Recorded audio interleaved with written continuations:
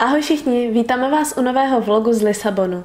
Na tento výlet jsme vyrazili díky spolupráci s HP. Přibalili nám sebou na vyzkoušení jejich kapesní tiskárnu Sprocket, se kterou si jednoduše vytisknete vzpomínky třeba právě z cest.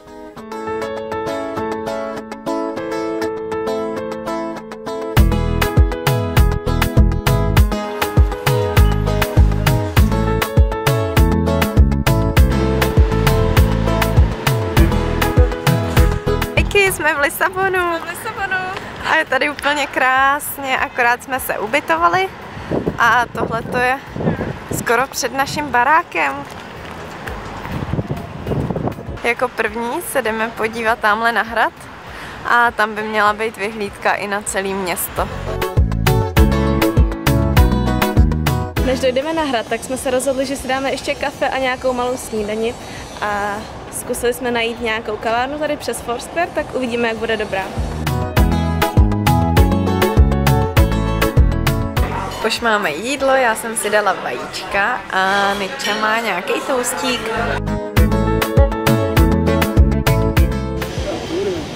Lisabonský symbol, tahle žlutá tramvaj a vyhlídka na město, kterou jsme teďka potkali po cestě na hrad.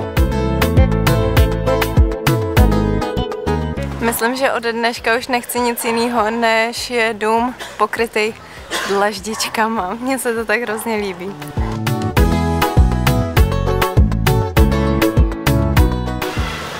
Zmrzku, Niky. Je hrozný vedro. tak dobrou chuť. Děkuji. Je moc dobrá.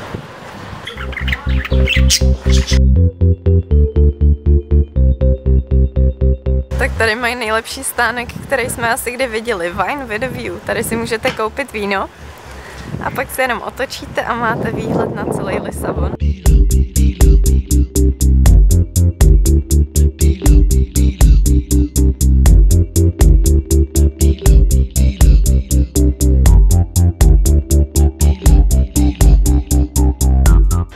za sebe musím říct, že hrad bych určitě doporučila, Mhm, krásný protože výhled je tady nádherný výhled.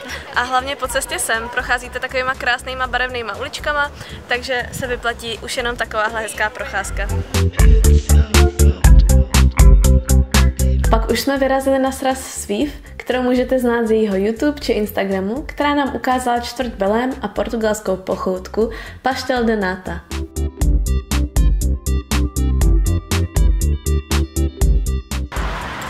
Tak taste test.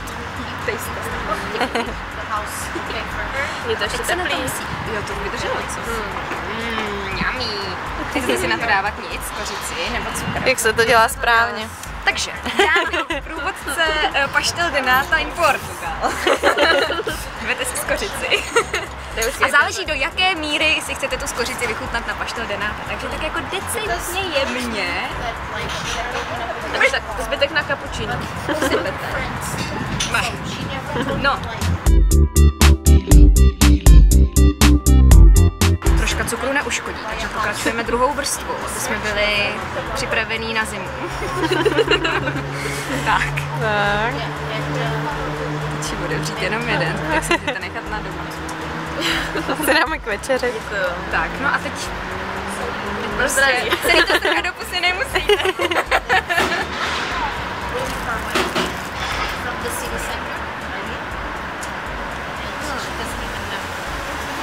Dobrý.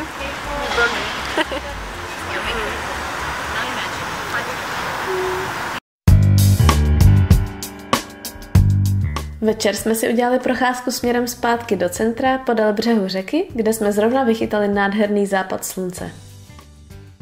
Dorazili jsme do našeho krásného hotelového pokoje a jsme docela vyřízený. Lucku trošku zlobí rýma, viď? Rýma a kašel a bolest v krku. A bolest na patách, protože si vzala Nový nový boty. A mě zloví únava, takže už se těšíme obě do postele. Ale koukáme se na fotky z dneška, na videa a těšíme se na zítřek, protože Lisabon je zatím úplně nádherný. A na mě konkrétně teda dýchla úplně krásná atmosféra toho, jak je to město takový živý, ale zároveň není přelidněný a není takový hektický. Takže jsem zvědavá ještě na zítřek. Tak jdeme spát, viď? Dobrou. Dobré ráno, Niky. Dobré ráno. My už jsme na snídani, máme tady ovoce, naší nejoblíbenější věc na Portugalsku. A já mám ještě i vajíčko a fazolky. Tak jo, krásné ráno. Den druhý jsme zahájili focením outfitu na blog, i ten jsme si vytiskli do cestopisu. Sprokec se dá spárovat přes aplikaci s vaším telefonem a můžete tak tisknout úplně jednoduše a hned. Druhý den v Lisabonu. Jupiu, vyrážíme do města.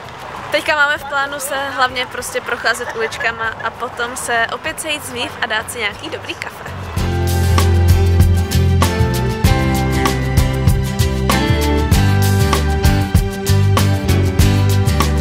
Zjistili jsme, že Lisabon je nějaký blogerský městečko, protože kromě Vív, která tady bydlí, jsme potkali i holky, co jsou tady na výletě. Kristýnu s Kamčou, čauky. A jdeme společně na kafe.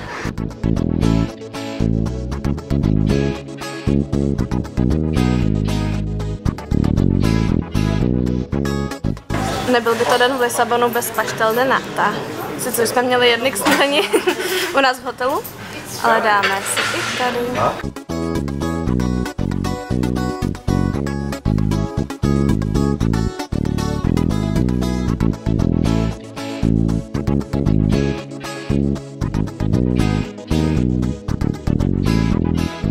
Na oběd jsme chtěli zajít do Time Out Marketu, kde je jak tradiční trh s ovocem, zeleninou a květinami, tak i spousta restaurací.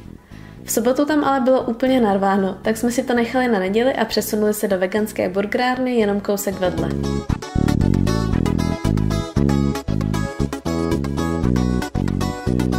Začala nám docela slušně pršet, ale stejně nás to neodradí a jdeme se dál procházet.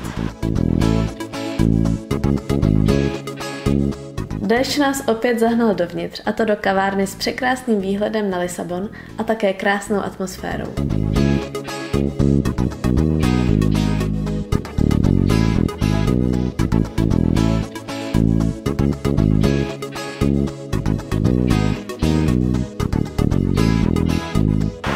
Chceme dát seafood, když jsme takhle krásně u moře. Dobrý den.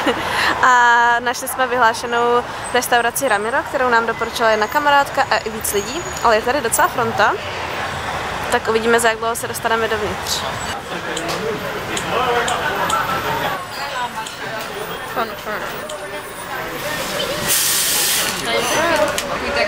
Tak jsme tady jak na úřadě, dostali jsme čísílko. Ukáž, kolik máme. 4780. A teď je 620. A teď je 622 a čekáme na vyvolání, aby jsme se dostali dovnitř. Protože jsme přišli docela brzy, asi kolem sedmé, trvala fronta jenom asi 10 minut a shodli jsme se, že jídlo bylo úplně výborné.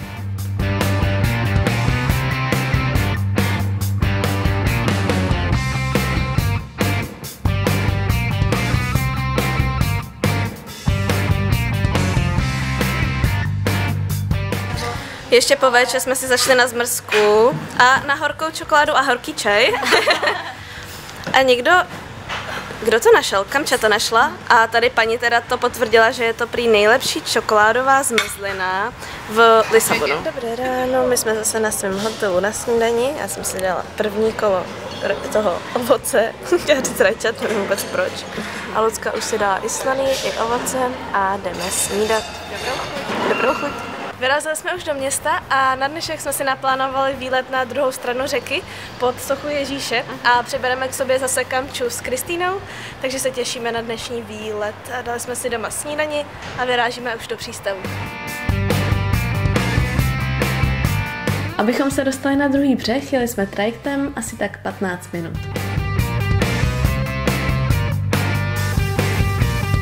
Po trajektu si ještě musíte koupit lístek v autobusu 101 a ten by nás měl snad dovést teda tam ke Kristoreji.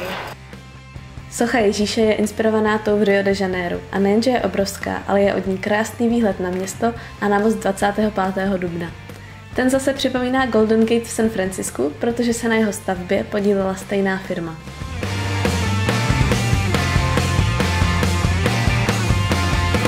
Jsme zpátky v Time Out Marketu a jdeme si dát něco k jídlu. K obědu jsme si vybrali zase rybu. Uh, nevím přesně, co to je za rybu. Nikča má obalovanou a s opečenýma bramborama. a já mám rustic potatoes a grillovanou. Holky měly rybí polívku, tu jsme nestihli natočit. Byla tak dobrá, že jsme naházeli. A co jste si ještě dali teďka? Olivně. Jo, jo. Tak jo. Tak dobrou chuť. Dobro. Protože jsme ten den ještě neměli paštel denáta a je to fakt dobrota. Přesunuli jsme se do Belému, kde jsme si každá ještě dva dali.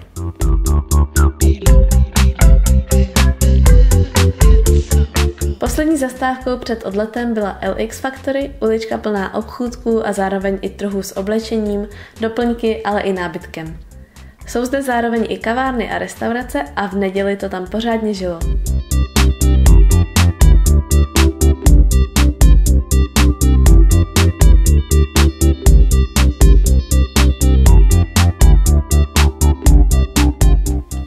Se vypravili na letiště a domů.